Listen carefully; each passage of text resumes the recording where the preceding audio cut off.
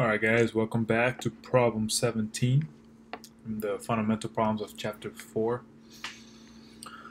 Okay, so we've been taking moments about um, not just points but about specified axes, okay?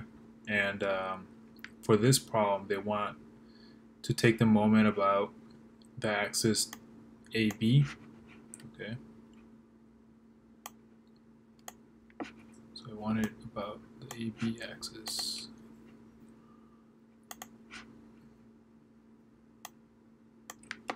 Okay, which is this one right here in green. That's AB. Okay. So first, let's find uh, the unit vector of axis AB. Okay. So let's see. We know unit vector AB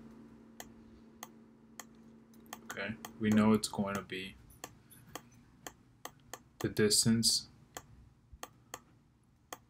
RAB divided by the magnitude of RAB right that we can normalize it. Okay. So let's go from um, I guess let's make it point in I guess let's, let's go from B to A. Okay. So distance from B to A is going to be, let's change color real quick. Distance from B to A is going to be 4i. Okay. So 4i. And then minus 3j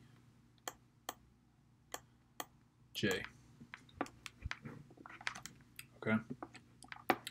And then you know take the magnitude of this to get the full distance. And don't worry about the negatives because you're going to square it. So when you square the negative goes away. Right? And then again we'll we'll get a 3 4 5 that that will equal to 5 so then it's 4 fifths i minus 3 fifths j. Okay. Now we can either take the moment about so before we were taking the moment about the origin, right? But the axis AB is either you know a point on that a point on that line is either going to be at A or B, right? So because my force is closer to A, right, it's gonna it's gonna be a little easier to compute the distance from A to C than from B to C. Okay, I'm gonna just measure the or you know label the distance from A to C. Okay, so what's our? Wow, blue is not a good option. Okay, so what's the distance from A to C?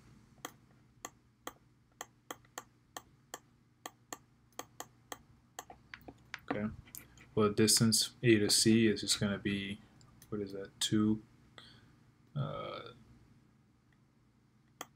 0, 0i, 0j, and then 2k. Okay. Now I'm going to take the moment of about point A. So I'm going to compute. So actually, before let's let's uh, let's write the notation that we've been using. So the moment about AB, okay, it's equal to the unit vector of AB dotted with uh, a moment about a point on that line. So let's do it about A. Okay. Sweet. So now that we're here, we're going to have to do, so UAB we said, so 4 fifths is 0 0.8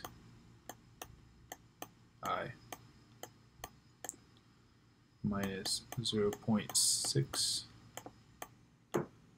j dotted with.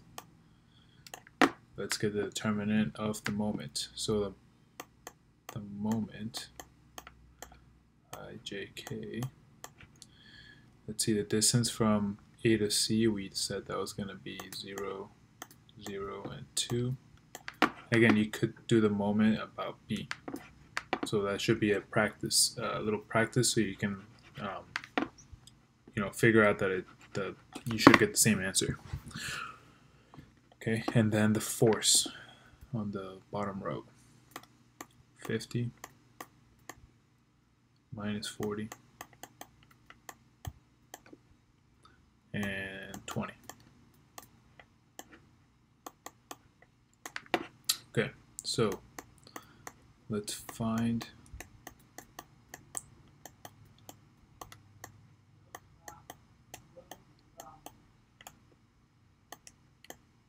J dotted with.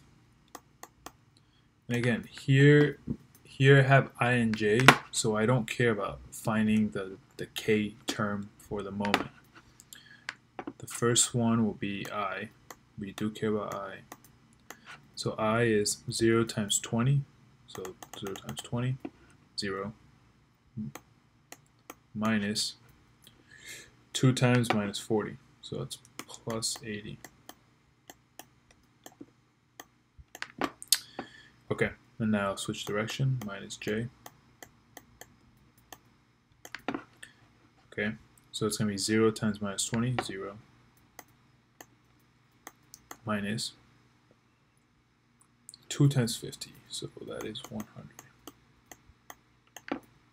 Okay, and the k we don't, so it's just k is some constant, so it's k and then some something maybe. Or actually, no, it's just 0, so this one's easy.